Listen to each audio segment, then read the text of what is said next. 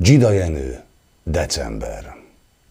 A horizont ma ködökbe vesző, s a nagyvilág egyetlen csöndes hómező. Pejhet kavarva dudorász a szél, és nagy titokról halkan meséket mesél.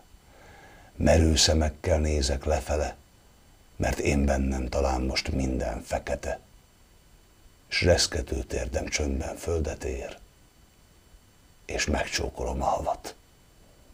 Csak azért, mert fehér.